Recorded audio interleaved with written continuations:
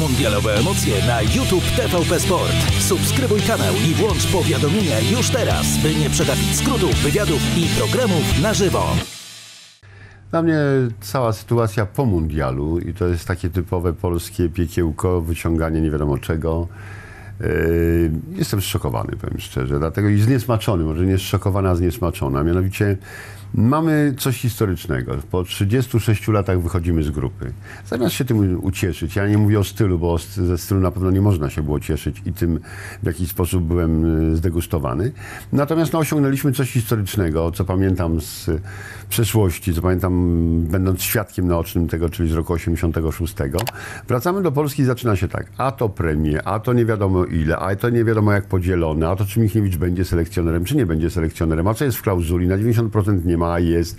Zajmujemy się czymś zastępczym. Nie rozumiem prezesa Kuleszy i decyzyjności, bo to on jest człowiekiem, który decyduje. W związku z tym Komunikat powinien być jasny i czytelny. Do końca roku Czesław Michniewicz ma swoją klauzulę jako selekcjoner reprezentacji Polski.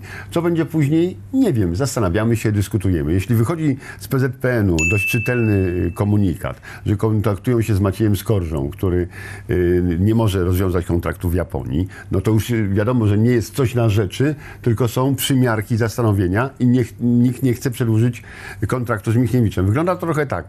Albo kogoś znajdziemy, no to wtedy Michniewicza nie ma. A jeśli nie znajdziemy, no to może przedłużymy Michniewiczowi. Niepoważne i nielicujące w ogóle z tym, czego się spodziewam po władzach Polskiego Związku Piłki Nożnej i nie tylko, że powiem że szczerze, że jestem rozczarowany czy zdegustowany. Jestem zszokowany, jak w ten sposób można traktować polskiego kibica, polską reprezentację, dobro polsko, nar- polskie narodowe. Nie licuję to w ogóle, nie przystaje. Idą święta i myślę, że każdy będzie miał czas na jakieś zastanowienie się rodzinne. Zbigniew Boniek jak się zastanowił, to Brzęczka wziął, zwolnił, tak? W związku z tym nie wiem, może prezes Kulesza się zastanowi albo przedłuży, albo nie. Zacznę od tego, że zmieni, zmienił się świat, prawda? Że dzisiaj Twitter, Facebook, Instagram zaczyna być czymś, co szczególnie dla młodych ludzi, podkreślam, dla młodych ludzi, oni sobie bez tego nie wyobrażają życia. W związku z tym powiedziałbym, że to jest taki półświat.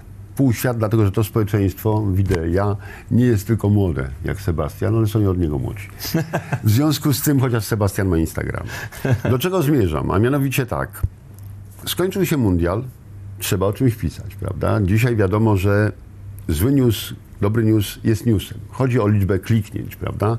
Dziś portale internetowe, a nie gazety, bo jak idę do kiosku takim na bazarze, którego, obok którego niedaleko mieszkam, no to tych gazet leży i wiadomo, że dzisiaj gazeta jest elektroniczna, a nie jest gazeta kupowana, a starsze pokolenie to robi.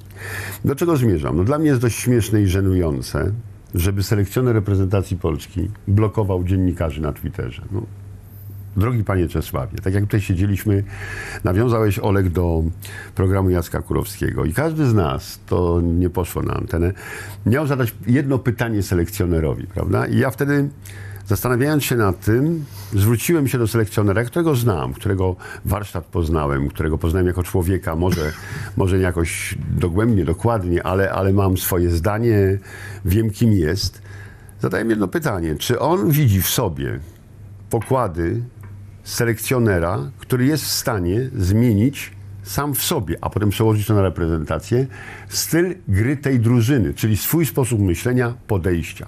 I teraz tak, no wiadomo, że trzeba jakieś newsy dostarczać. To, co się klika, jest dzisiaj super i, i, i na topie. W związku z tym wszystko jedno, co się napisze, zaczyna być to klikane. A tylko czy to jest rzeczywistość, w której żyjemy. Dlatego, że zastanawiamy się, czy Czesław Michniewicz ma być selekcjonerem. Zostawmy sprawie, sprawę, sprawę premii, bo tutaj podzielam absolutnie zdanie Zbyszka Bońka, który powiedział tak, panowie, no skoro żeście tak dzielili te pieniądze i skoro mówicie, że szkoda, bo byśmy je przeznaczyli na y, szlachetny cel, prawda, czy zbożny cel, czy, czy na, na pomoc tym, którzy, którzy tego potrzebują, a co stoi na przeszkodzie? To są dzisiaj milionerzy, prawda? Ja nie mówię tego w jakiejkolwiek kontekście zazdrości o, o ich pieniądze. Pracują, zarabiają i tak powinno być. Mogą to zrobić. I myślę, że w tym momencie ucięliby wszelkie dyskusje. Proszę bardzo, skrzydliśmy się jako Rada Drużyny, Robert Lewandowski, Krychowiak, Szczęsny, nie wiem, Zieliński, włożyliśmy tyle i tyle, przeznaczamy to na, nie wiem, na Centrum Zdrowia Dziecka i na operację. Kończymy sprawie, sprawę premii. Po diabła cały temat, międlony, nie wiadomo jak, nie wiadomo po co, nie wiadomo ja mówię, z czego to wynika? Teraz selekcjoner no, albo stawia sprawę jasno, nie tylko z premiami, Co to są za, za, opowieści, panowie? Mogę zmienić wodę w wino, byście się napili, nie napili. Ja rozumiem żart. Dlaczego podchodzi i ma część grupy? Wiadomo, że każdy selekcjoner chce mieć swoją grupę dziennikarzy, która będzie mu sprzyjała. Nie w tym rzecz jest. Jest racja stanu wyższa, prawda? To też trzeba spojrzeć samemu w lustro i określić się samemu, już kończę, żeby dopuścić do głosu Sebastiana. A mianowicie, czy rzeczywiście zrobiłem wszystko ja jako selekcjoner i czy i to, jest, to jest w ogóle sine qua non. Czy stać mnie teraz na zmianę sposobu myślenia, na zmianę tych moich detali, które decydują o tym, że wyglądaliśmy tak, a nie inaczej, żeby przejść przez eliminację Mistrzostw Europy, ale w innym stylu, prawda? Nie w stylu gwarantującym tylko i wyłącznie wynik, ale w stylu, który ten wynik da nam nie tylko satysfakcję z wyniku, ale również z gry. I to jest dla mnie w ogóle kluczowe. Natomiast za dużo rzeczy wypływa, za dużo jest zachowań, powiedziałbym, A nie jest kluczowe to, żeby wokół reprezentacji była dobra no atmosfera ale ta, i żeby ta, to wynika z działań prezesa, y, selekcjonera. To przecież dziennikarze nie wymyślają sobie od tak tematów, prawda? No jeśli ktoś jest blokowany na Twitterze, no to zaczyna na to reagować, tak? No to po co selekcjoner się wygłupia i blokuje ludzi na Twitterze? I to zacnych dziennikarzy, powiedziałbym, bo moich wielu kolegów, których szanuję, którzy mają absolutny dorobek dziennikarski, nie są hetkami, pętelkami zmieniającymi zdanie, jak, jak chorągiewka zawieje. W związku z tym, jak mówię, zbliża się szczególny czas. Czas świąt, refleksji, zastanowienia się. Żyjemy w świecie nie w oderwaniu od rzeczywistości, prawda? Nie samym sportem człowiek żyje. W związku z tym mam, Polacy mają tysiące rzeczy na głowie ważniejszych od sportu. W związku z tym szanujmy tych ludzi, tych naszych rodaków w kraju i y, potraktujmy ich poważnie, prawda? Na tyle, na ile oni zasługują, bo ten wielomilionowy naród czeka na sukces, doczekał się na miastki, powiedziałbym, sukcesu, bo dla mnie nie jest sukcesem wyjście tylko z grupy. Nie jest sukcesem wyjście tylko z grupy. Natomiast później te wszystkie zastępcze tematy świadczą o tym, że niepoważnie traktujemy polskiego kibica. Polski kibic czeka na czytelne, klarowne, jasne informacje. I lepiej nic nie mówić, niż mówić za, niż, niż, niż mówić za dużo. No właśnie.